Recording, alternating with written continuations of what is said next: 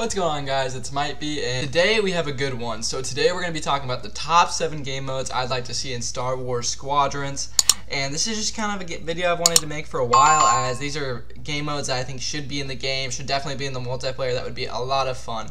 Big points that they missed out on during Star Wars Battlefront 2 and the Hero Starfighters is there weren't a lot of, like, it wasn't obviously, it was just kind of a side mode with ships, but obviously as since this is a focused flying game, I could really see us wanting these maps. So today, I'm going to be going over the top 7 ones that I would like to see. If you haven't seen me before, welcome to the channel. My name is Maitbie, and I come out with Star Wars content daily.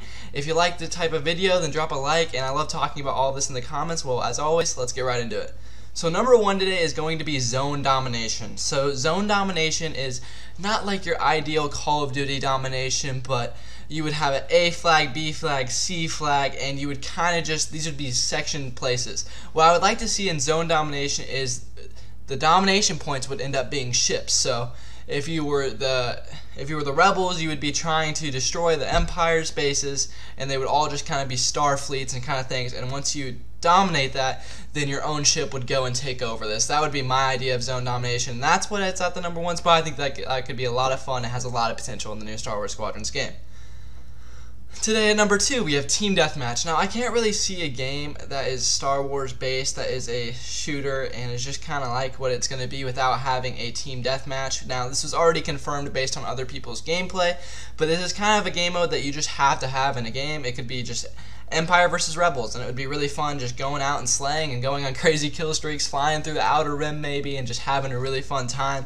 And that's why it's at our two spot today, and I think it could be a really promising and fun game mode that I'm excited to see in Star Wars Squadrons.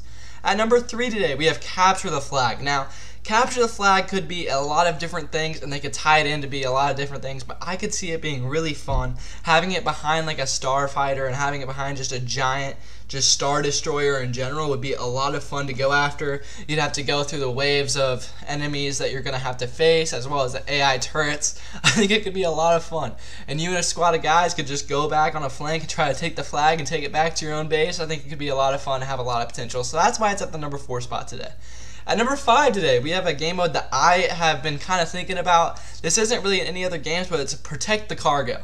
So in my identity, what I think of this game mode being is I think of this game mode as being just like a protect the cargo, like protecting the Jedi, protecting needed materials to get to the rebel base, and basically you're just trying to protect this cargo while it's going to a specific point, flying to a specific point, while you've got dreadnoughts shooting at it, you've got TIE destroyers trying to shoot it down and take you out with it, and your whole purpose of that as a rebel is kind of just to protect the cargo.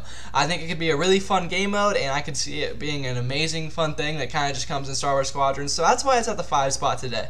At number six today, we have Classic Free For All. Now, I don't want them to make the mistake of having a flying game without free for all. Like, I would love to just absolutely sometimes be on my own and kill everything. This doesn't mean that you're really on any faction or team, and I know that that's why it kind of differs away from some of the Star Wars games. So this is kind of its own section, but I would love to have a free-for-all game mode where I can kind of just go against other people and just fight against other people and see if I can go on crazy streaks, kind of just hold down a lane of the map, and I think it would be a lot of fun to have free-for-all in a Star Wars flying game, so that's why it's at the number 6 spot today. At our last one today, wrapping up the list, number 7 is a small-scale galactic assault. So, Galactic Assault could be put in two different ways, so that's why I kind of put it at 7 slash 8 slash kind of just honestly 4, but this is why I'm talking about at the end, so this is the 4 and 7 spot. So anyways, Galactic Assault could be 50-50 or 20-20. Now, I want both modes. The reason why you may be like, why do you want two modes? It's the same mode. Well, I want to have a large scale starfighter assault where you are fighting starships and you are kind of just taking care of zones, destroying things, and kind of just going for complete domination of that map. But I also want to have a smaller scale version of that same one, so this is why this is two separate ones. The reason I would want a smaller scale one is because smaller scale game modes are different and they end up being a lot more fun. I would like to compare this to Capital Supremacy and Galactic Assault. Both are really fun modes, but the large scale plays a lot different than Galactic Assault. I would say that GA plays a lot different than Supremacy in Star Wars Battlefront 2 right now, and this is why I'm saying they should transfer this same idea into Star Wars Squadrons. Don't take what's not broken, take what's good, and I think that that would be the smartest thing for the Star Wars franchise, and that's why it's coming in at the number 4 slash 7 spot today as our kind of just last two picks.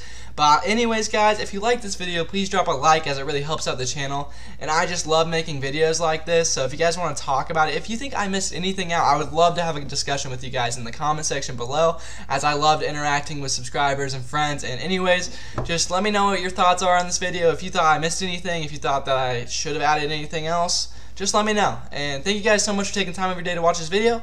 Maitbie out.